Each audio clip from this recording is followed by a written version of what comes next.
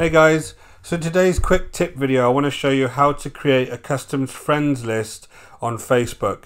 Now this is very useful if you want to divide your friends into certain segments and communicate different types of posts to different types of people.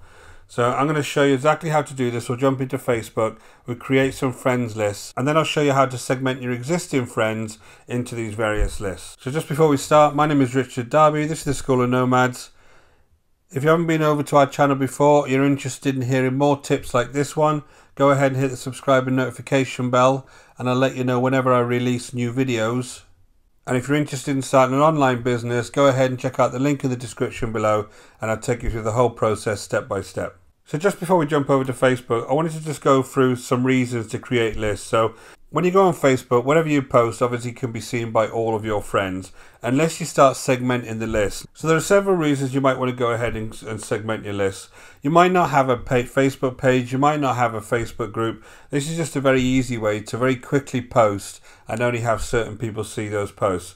So you could be a member of a club, there could be some kind of supporters group that you're a member of. You could have business associates, and this is a big one, and this is the, the reason I use this particular function on Facebook. Because when I discuss business on Facebook, I kind of only want certain people that have connected me through my business to see certain posts. And friends and family, I don't really need them to see them. So I use it for business mainly. You could have some hobbies you want to discuss with folks. There could be very specific family that you want to post certain things to. Or you could be just discussing some kind of event. And it's a good way of dividing up people quickly who are going to that event and only communicating to them. So if I just jump over to Facebook and I'll show you how easy this is. So I'm over on Facebook. First thing is make sure you're on your home screen on your actual timeline because on the left hand side is the menu where you'll actually find your friends list.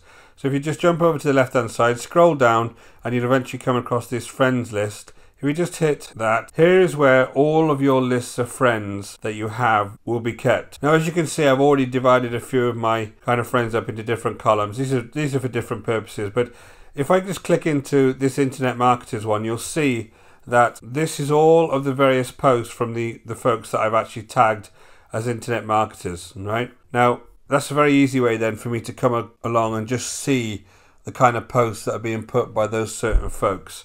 Now, that's actually how you would go into the various lists themselves. And if you want to create a new one, all you need to do is come up here and hit create list and then name your list. So this could be anything.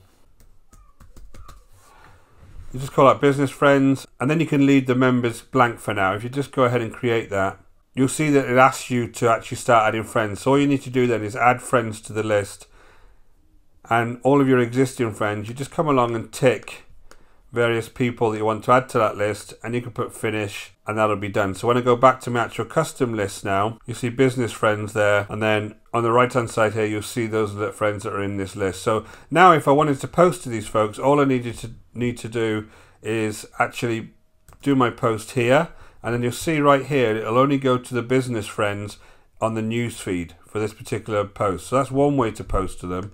The second way to do this is just to come over to your main feed and if you want just to post from your main feed like you might be on your phone or you might be on uh, some other device and you want to post from there all you need to do is make sure that before you post where you have your sharing options you only actually tick on the list that you want to be shared to so I could share this to several lists I come down and add my business friends to this particular list so there'll be various things that I can actually share on here to various people.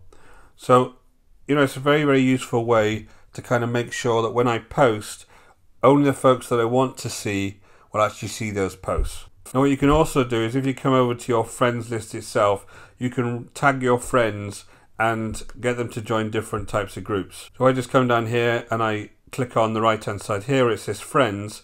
Where it says edit friends list, you can come over here and you can add them to various groups and then they become part of that group. They can actually be part of several groups that you go ahead and tag them to. So again, very useful. Now if you friend someone for the first time, you usually just have to accept the friend request and then once you've accepted the friend request, you then go back in and change the group that they're going to be a member of. So that's a little bit of a two-step process, but it is the best way to kind of do it to make sure that you accept them first and then go back in and then actually put them onto the various lists. And then lastly, if you want to come along and delete these lists, you come back to the actual lists themselves and you can come across and you can actually just delete that list and that list will be removed. So it's an easy way. Once you finish with a list, maybe it was an event or something you want to finish with it, you can kind of delete it to make sure your profile is clean. So again, this is a really, really good way, especially if you're into business and you maybe want to use Facebook for business and you have lots of people you friend as part of your business online. You can go ahead and just put them into one section and then that's the section that you can communicate to and not really have to create a separate page or be a member of a group or anything like that. So I hope you found that tip useful. My name is Richard Darby. This is the School of Nomads. If you want to hear more tips just like this one, go ahead and hit the subscribe and notification bell and I'll let you know as soon as I release new videos. And again guys, if you're interested in starting a business online, go ahead and click the link in the description below and I'll take you through the process step by step. Until next time, take care.